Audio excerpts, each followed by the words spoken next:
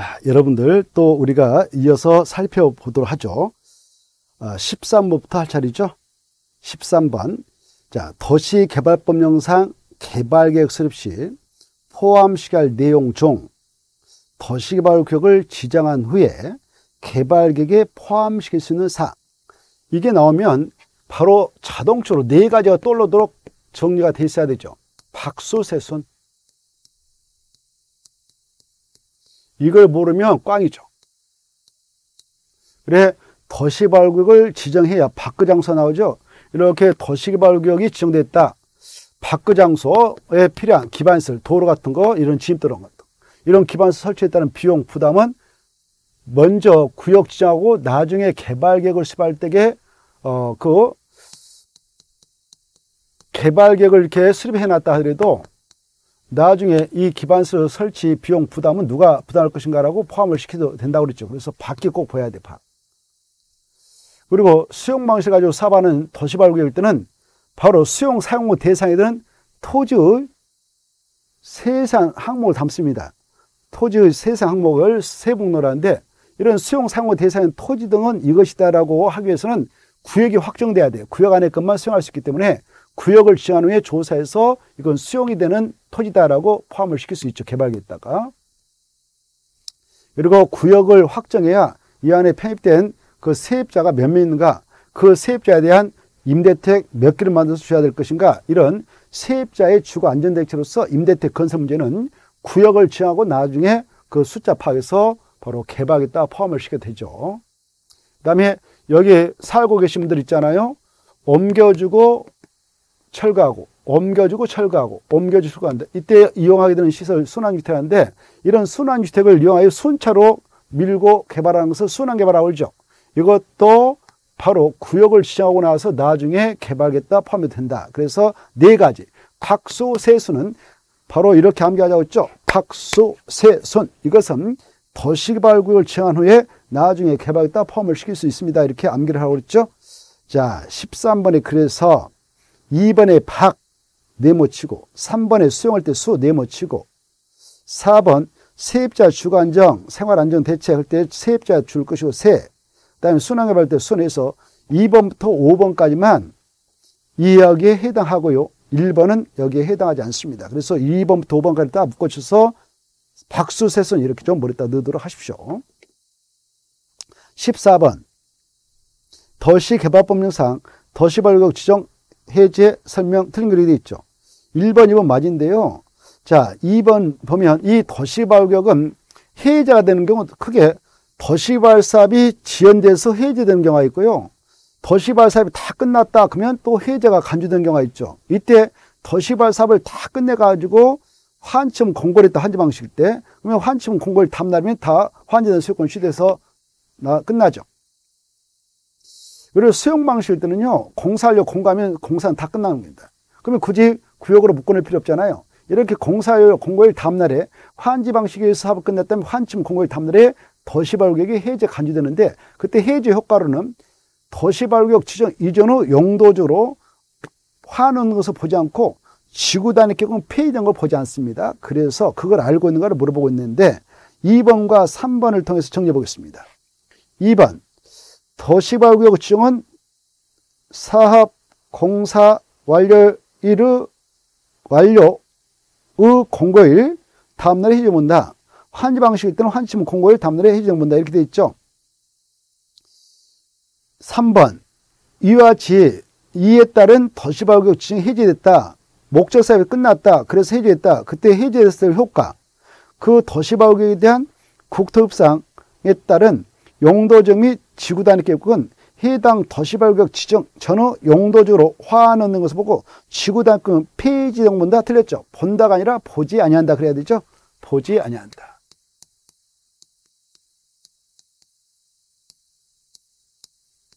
근데 목적 사업이 달성도 되지 못하고 사업이 지연돼서 뭐 어, 개발 계획을 수립할 시점인데 그때가 수립하지 않아서 그 다음날에 바로 해제됐다. 실시계 인가를 신청했는데 기간 내에 신청하지 않아서 그 다음날에 해제됐다. 이랬을 때는 바로 해제 효과로서는 도시발구역 지정 이전 후 용도적으로 화넣는 것을 보고 지구단권 폐지등본다 이런 것들이 떠나야 되죠. 자, 나머지는 맞고요. 그 다음에 15번. 도시개발법상 가로 안에 들어갈 면적이 옳게 연결된 거. 이 도시발사업은 토지 구역정 사업이요. 그래서 땅을 미는 사업입니다. 그래서 면적 규정 많이 나오는데 이 면적 규정을 꼭 암기를 하셔야 되죠. 15번. 박스 안에 들어가서 보니까 도시발구역 지정하는 주민 의견 청취를 하는 경우 그 구역의 면적이 얼마 미만이면 바로 위반할 도시개발구역의 지정과 개발 개요 시행자, 시행 방식에 관한 사항, 공람기관 등을 일간신문에 걷다 줄 거예요. 일간신문에 공고하지 않고 지자체에서 반은 공보하고 해당 시군구 인터넷 홈페이지에 공고할 수 있는가? 인터넷도 하지 않고 그냥 공보하고 인터넷 홈페이지에 공고해도 되는가? 면적이 조그마할 때, 10만 정도 미만일 때죠. 10만 정도 이상일 때는 그 일간신문하고 인터넷 홈페이지에 공고를 하도록 요구합니다. 10만 미만일 때는 일간신문에다 공고하지 않아도 된다는 것. 그래서 기억은 10만 정도 미만이 되고요. 두 번째, 국장 시도사 시장군수 구청장은 도시발 사업을 시행하려는 구역의 면적이 얼마 이상 경우에는 주민과 관계 전문가로부터 의견을 청취하기 위하여 공람 기간 끝난 후에 꼭 공청회까지 되는가? 공청회를 꼭 개최해야 되는 경우는 여기에 힌트가 있다 했죠. 이렇게 어, 공청회를 보면 이렇게 이렇게 이렇게 했으니까 100만 같이 보인다고 그랬죠. 그래서 100만 조금대 이상 할 때는 공청회 주도 필수적이다. 니은은 100만이 되고요. 그 다음에 이제 이 개발계획을 수립하게 될 때 주거, 교육, 생산, 유통, 일학 등 기능 이걸 복합적 기능을 하죠. 복합적 기능이 서로 조화가 이르도록 개발계획을 꼭 수립할 면적이 있습니다. 얼마 이상 할 때는 그렇게 해야 되냐? 330만 중대 이상. 서로 조화가 이루어져야 된다. 서로 조화했다 줄 것이고 서로 조화 조화 몇 번 하다 보면 이렇게 하트가 들어가죠. 조화타. 이 하트가 뭐 같이 보입니까? 삼상 같이 보이죠. 그러니까 330만 종대 이상이지 100만 하면 틀리겠다. 구분하시고 공업적에 도시발굴 지정할 때는 03만 정대 이상으로 지어야 된다. 그래서 3만 정대 이상으로 지어야죠. 그래 주거적, 상업적, 자연 녹지 생산 1만 정대 이상으로 하고 도시적, 외적은 원칙 20만, 원칙은 30만 정도 이상을 하고 외적으로 10만이죠. 자, 도시개발구역의 지정키 모두 좀 암기를 하셔야 돼요.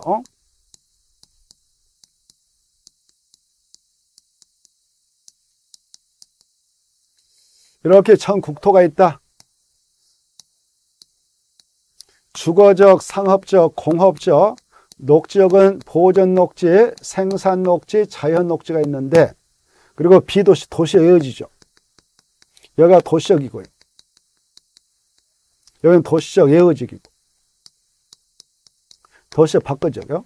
그래 이 도시발굴을 지정할 때 도시적 안에 토지정 보호전 녹지는 절대 지정 못합니다. 지정권자도 보호전 녹지를 제한 나머지는 지정할 수 있죠. 주거적은 1만 정도 이상 있어야 돼요.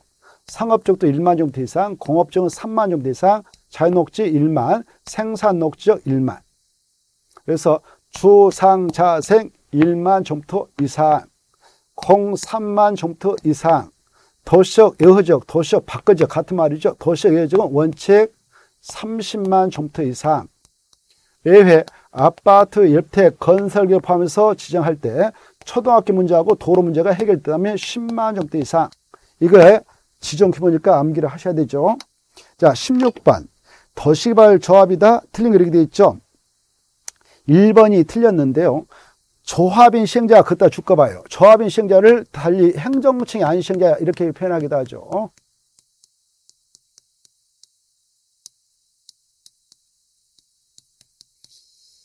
그래 행정청 하면은 국가 지자체를 말하고요. 행정청이 아니면 나머지를 다 말해요. 행정청이 아닌 시행자인 조합이 시행자에 서 환지 방식을 가지고 사업을 해서 환치을 냈다. 여러분이 그 이해 당사자인 토지 소지다. 환치문이 마음에 안 든다. 불복한다. 그러면 행정심판 제기할 수 있거든요. 이때 행정심판 제기할 때 어떠하냐?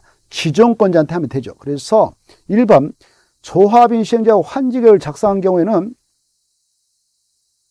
먼저 이 행정층의 아닌 시행자인 저와 같은 자가 환지 방식에 따라 사업을 하고자 환지계를 작성할 때부터 그때부터 규제받죠. 그때 인가를 받아야만이 환지계획 확정되는데 인가권이 누구냐? 이건 전 해에서도 이미 살펴봤죠.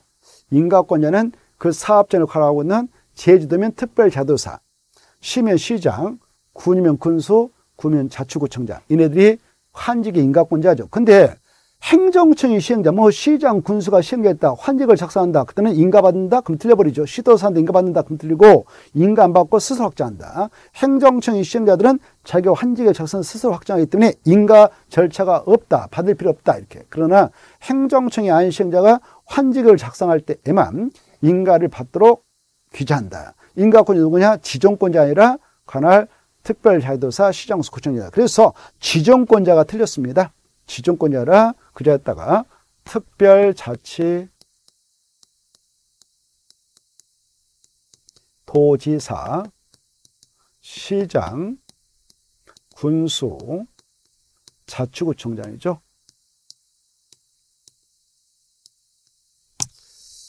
자, 나머지는 맞고요. 17번 볼까요?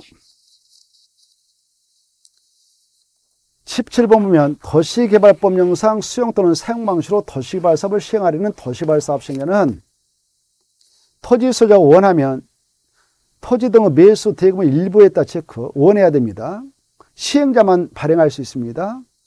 사업 시행으로 조성된 토지 건축으로 상환하는 채권 이걸 약자로 토지 상환 채권 하죠. 이걸 발행할 수 있는데 토지 상환 채권 설명 어려운 이렇게 돼 있죠. 1번 이 토지 상환 채권은 내가 시행자한테 하나 받아놨다. 그러면 이거 이전할 수 있을까? 이전할 수 있죠. 그래서 타인에게 이전하지 못한다 틀렸죠. 이전 가능하다 이렇게 쓰고 2번 토지상환채권을 시행자가 나한테 발행할 때 나의 이름을 증서에다 써서 주죠. 그래서 이걸 기명증권 하죠. 그래서 2번 토지상환채권은 기명증권으로만 발행하지 또는 무기명식 증권 이게 틀렸어. 또는 무기명식 증권 이건 안 되고요. 기명식 증권으로만 발행한다 그래야 돼요. 기명식 증권으로 발행된 것이 토지 상환 채권하고 상환이 나면 김영식이라고 했죠.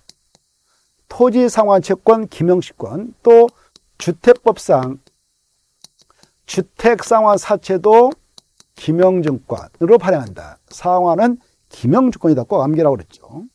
그런데 도시개발법상 도시개발채권은 무기명으로 발행할 수 있고 전자 등록 발행도 가능하다. 이걸 꼭 구분하시라고 했어요. 도시개발채권은 무기명이나 또는 전자 등록 발행이 가능하죠. 그런데 이 토지상환채권하고 주택상환사채는 기명증권으로만 발행을 하도록 규제한다. 3번 토지상환채권은 질권의 목적으로 할 수 있다 그래야 되죠. 없다가 틀렸고 4번 국가 지자체 공공기관 토수는 간첩매하고 정부 처리하는 두 가지 지방사 인시행자 여기까지를 공공사업시행자라 하죠. 공공사업시행자가 토지상환채권을 발행할 때는 보증을 받아야 발행할 수 있다 땡이죠. 민간사업시행자가 발행할 때는 보증을 받도록 규제하지만 이 국지전공인 공공사업시행자는 보증받지 않고 발행이 가능한 것입니다. 그래서 보증을 받아야 한다 틀렸죠? 받을 필요가 없다. 누굴 때만 발행할 때 보증받아야 된다? 민간사업시행자일 때만 보증받고 토지상환채권을 발행하도록 규제한다. 이걸 꼭 구분하셔야 돼요. 5번 토지 상환 채권의 발행 규모는 일반에게 분양할 토지 건축물의 규모의 2분의 1 초과할 수 없습니다. 그래서 5번은 정확하게 맞습니다. 18번 도시개발법상 환지 방식에 따른 도시발사업 시행인데 옳은 것 1번 보죠. 이 환지계획을 작성하게 될 때는 정전토지와 환지의 7가지를 종합고려 해서 적응환지가 되도 하는 것이 원칙이죠. 이때 일곱 가지 뭐냐? 약조를 뭐라 합니까? 종전호 토지의 환지, 위, 지, 면, 토, 수, 리, 환. 이걸 해서 작성하죠. 이때 네 번째하고 다섯 번째를 특히 잘 알아주셔야 돼요. 이 토는 토질이다. 토지 형태가 아니다.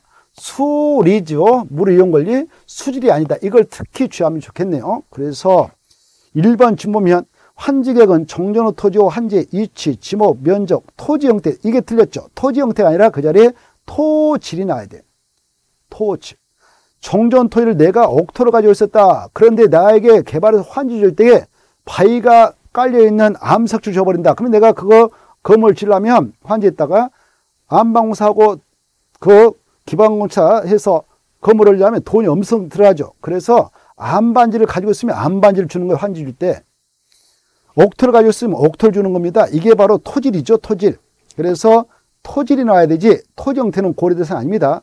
2번 이 환지 방식을 가지고 사업을 다 끝내서 조성된 토지가 나왔다. 그러면 종전가고 환지가의 그 가격을 고려해서 저금한지 감한지 또 정한지를 해주죠. 그 차이가 발생하면 청상을 줘봤잖아요. 이때 그 환지 방식에 의하여 조성된 조성 가격을 어, 평가할 때 어떻게 하느냐 어떻게 해서 가격을 결정하느냐 먼저 감정평가 법인을 동원합니다. 그래서 그네들로 하금 평가케 하고 평가된 자료가 나면 토지평가 협의회 심에 따라서 최종 액수를 결정하죠. 이 순서를 정확히 하셔야 돼요. 그래서 2번 바로 가장 마지막에 평가에다 줄 것이고 1 그리고 토지 평가 협의회가 나와 있는데 도시계위원회 심의 나와 있죠. 그래서 도시계위원회 심의 이거 지워버려요. 도시계위원회 심의 할때 도시계위원회를 지우시고 그 자리에다 토지평가 협의회가 나와야 되죠. 토지평가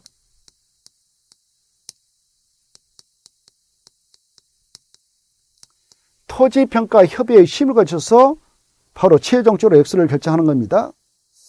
3번 시행자는 말이죠. 토지 면적 규모를 조정할 필요가 있다. 그러면 적은 토지, 너무 적은 토지가 있잖아요. 너무 적은 토지는 좀 늘려서 버텨가지고 정환제 할 수 있고 그리고 차익은 청산 내나라에서 증산하면 되고요. 아니면 적은 토지는 도저히 이거 조정이 안 된다. 그때는 그냥 청산 못 주고 환지 부정을 할 수 있습니다. 그리고 넓은 토지는 좀 줄여서 줄 수 있는데 환지 부정 못해요. 가만지는 할 수 있지만 바로 환지 부정 못한다는 것.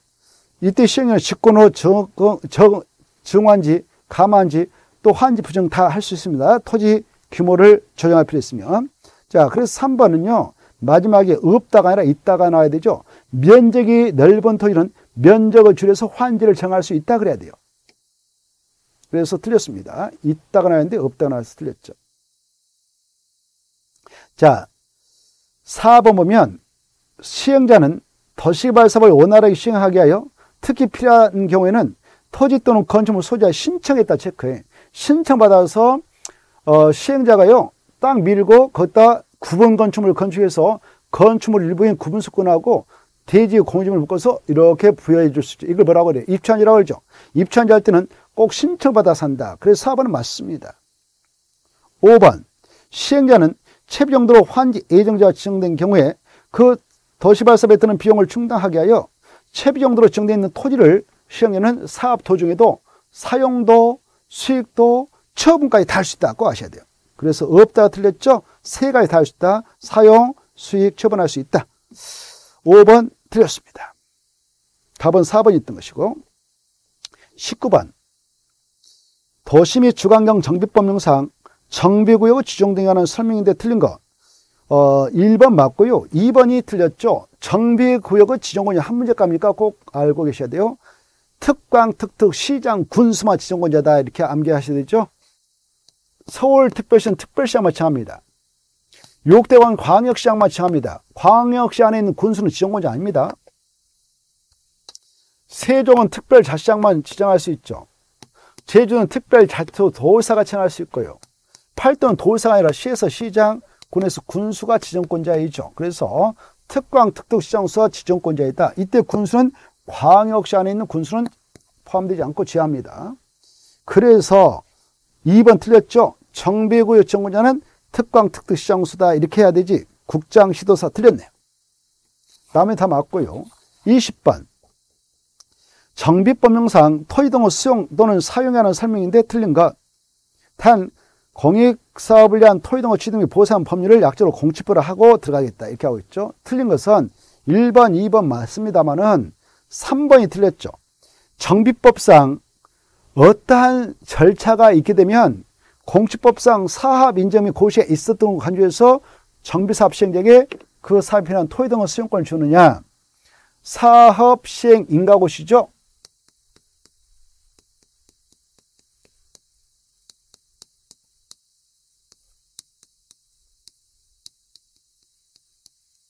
사업 시행 인가 고시가 나와야 돼. 그래서 거기 3번에 보면 관리처분 계획 인가 고시 할 때 관리처분 계획을 지우시고 사업 시행으로 바꿔야 되겠네요.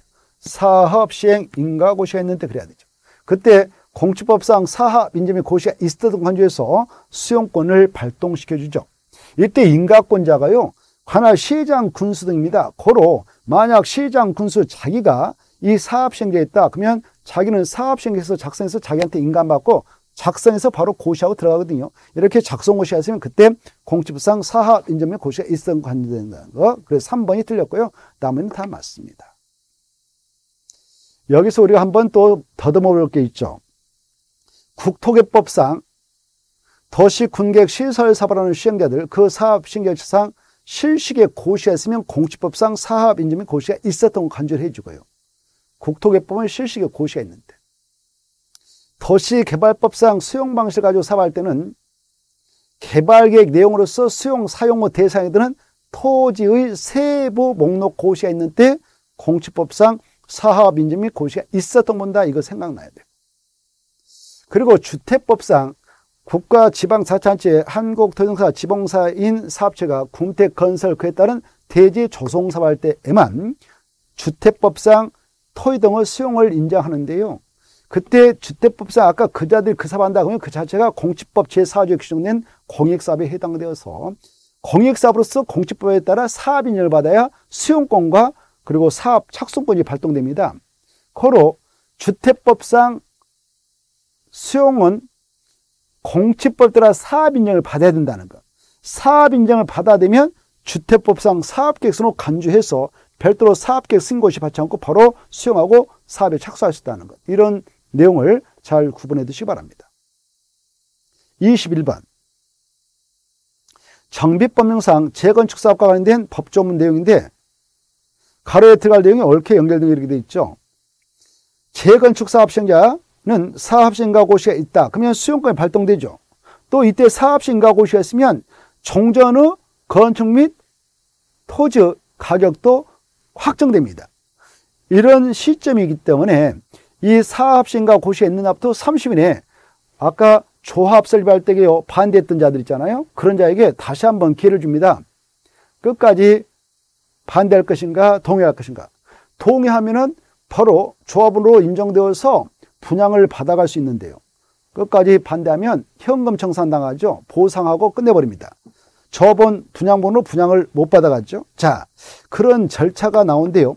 재건축 사업 시행료는 사업시행과 고시가 있으나부터 며칠 내에 조합 설립에 동의하지 않는 자 그리고 시장수 구청, 시장 군수 등 토지 주동사 등 신탁업자에게 사업 주도를 넘겨줄 때 동의를 하지 않는 자들 이런 자에게 그 동의 여부를 해답할 것을 서면을 촉구하든가 30입니다. 기억은. 이때 해답을 촉구하게 되면 몇 개월 동안 기다리고 있으면 해답이 올 수가 있냐? 그 해답할 수 있는 기간은 2개월을 주게 됩니다.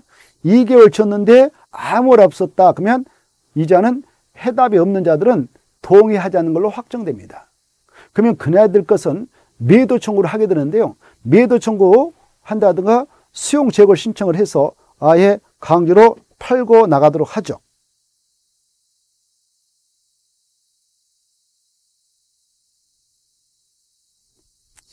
자, 언제까지 그, 그 절차를 거치냐? 아까 해답을 촉구했던 기간이 2개월입니다. 2개월이 지나면 그 다음 날부터 다시 2개월 내, 2개월 내 바로 그 반대자에게 매도 청구를 할 수가 있는 겁니다. 매도 청구.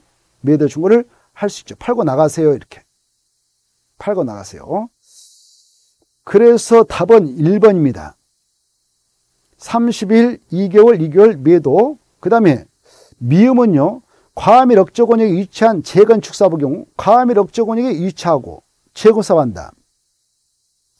그럴 때 그 장소가 투기 과주구도 아니고 조정 대상지가 아니면 몇 주택까지 분양 신청을 허용하느냐? 최대 3주택까지 줍니다. 근데 그 장소가 바로 투기 과주로 묶였다. 조정 대상을 묶이면 그때는 3주택을 허용하지 않죠. 자, 그래서 미음은 3주택까지 주는 것이 원칙이다. 다만 투기 가지고 조정 대상지에서 최초 사업신가를 신청한 재건사업은 이걸 적용하지 않고 1주택으로 줄어들게 됩니다. 그 다음에 22번 보겠는데 도시 및 주관경 정비법상 정비구역 지정권자인 특광특특 특별자시장, 특별자도사, 시장, 군수는 자기들이 지정했던 장소는 자기들이 직접 해제할 수 있어요, 법적으로. 그리고 서울특별시와 6대 광역시는 구청장 등이요, 정비계획을 위반해가지고 그 시험부에서 특별시장 광역시한테 그 기계 맞게 정비구역 지정을 신청합니다. 그러면 정비구역 지정을 신청받았던 특별시장 광역시장이 정비계획을 결정해서 지정을 하거든요. 그런 장소에서는 해제를 해야 할 필요가 있다. 그때는 구청장 등이 특별시장 광역시한테 해제를 해주세요라고 요청을 하게 됩니다. 그래 이때 의무적으로 특별자시장, 특별자도사, 시장군수는 자기가 진행된 장소를 꼭 해제를 해야 하는 사유가 있어요. 구청장 등은 특별시장 광시한테 해제를 요청해야 할 의무적 사유가 있습니다. 그 문제인데요.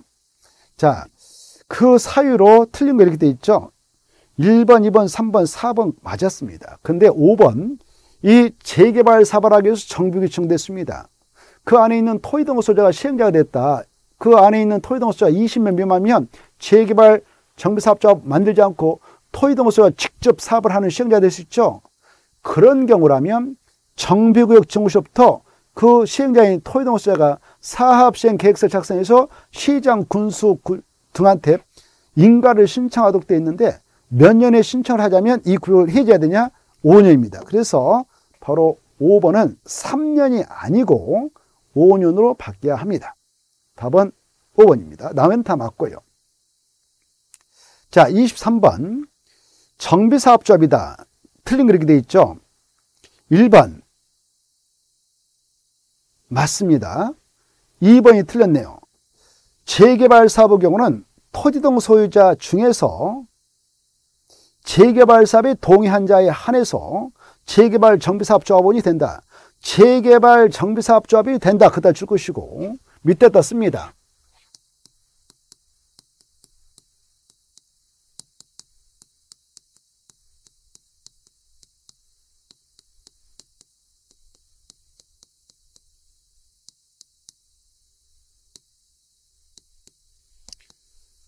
그래 이 재개발 정비사업조합이 성립이 됐다 그러면 누가 조합이 되느냐 조합 설립할 때 동의 여부를 분문하고 토지 등 소유자가 의무로 다 되는 겁니다.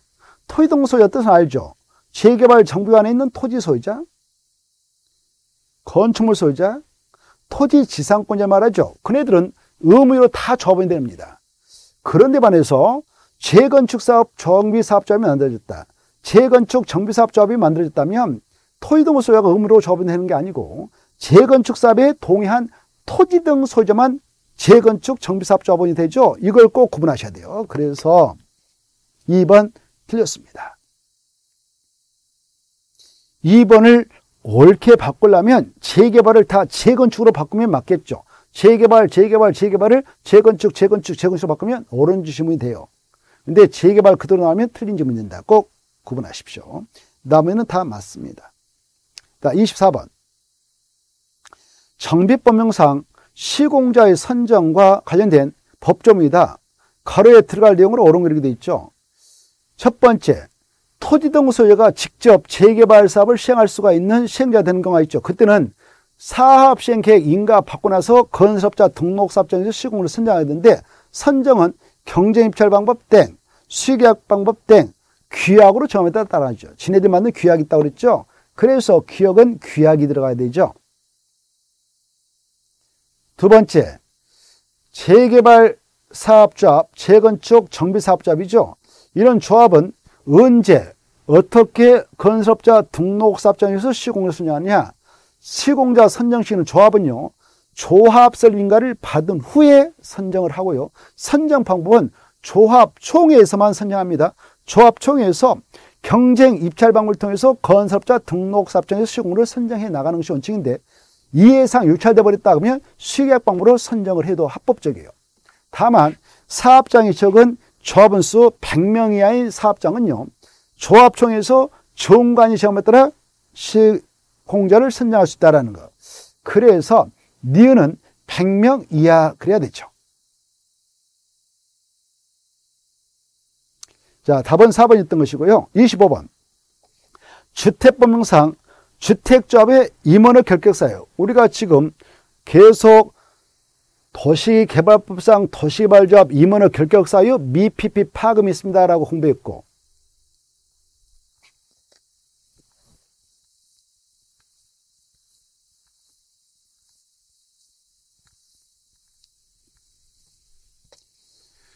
그래 도시개발법상 도시개발조합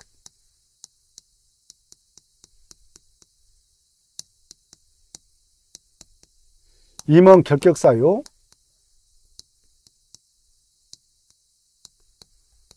약자로 미피피 파급.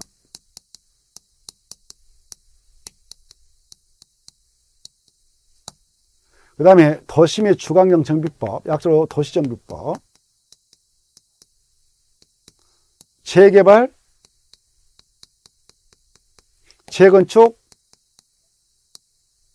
정비사업잡 있죠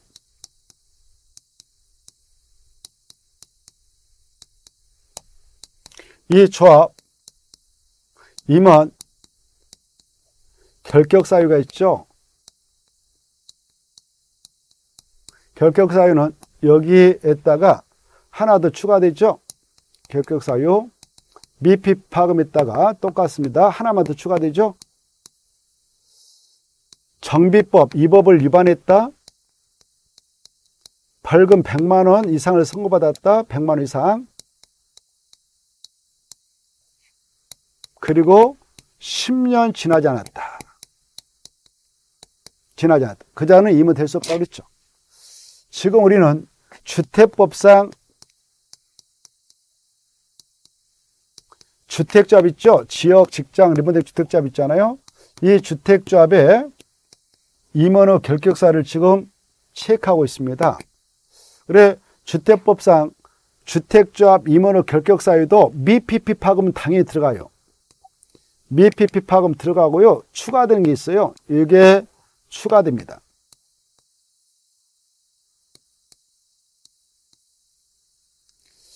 바로 여기에는 선고유예, 선고유예를 선고받고 선고유예 를 선고받고요.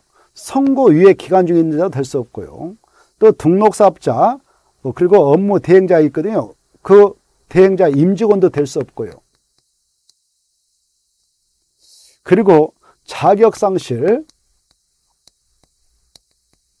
자격 정지된 사람, 이 사람도 될 수 없도록 합니다. 이렇게. 자,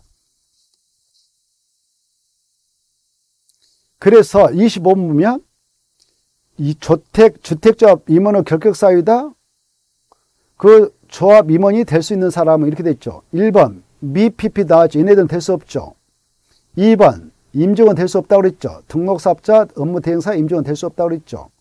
3번 금고 이상의 실형을 선받고 그 집행이 종료, 집행이 면제다부터 몇 년이 지나지 않는 자는 될 수 없을까? 2년이 지나지 않는 자는 될 수 없지만 2년이 지나갔다 그러면 바로 될 수 있습니다. 3년이나 지났으니까 될 수 있는 자죠.